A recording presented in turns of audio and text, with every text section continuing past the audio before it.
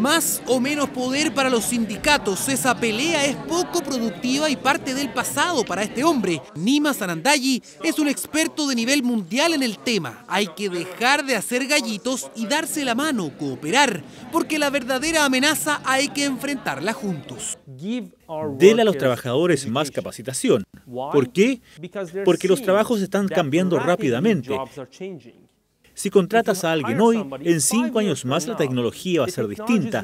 Va a haber un nuevo robot industrial, un nuevo programa computacional que va a hacer ese trabajo obsoleto.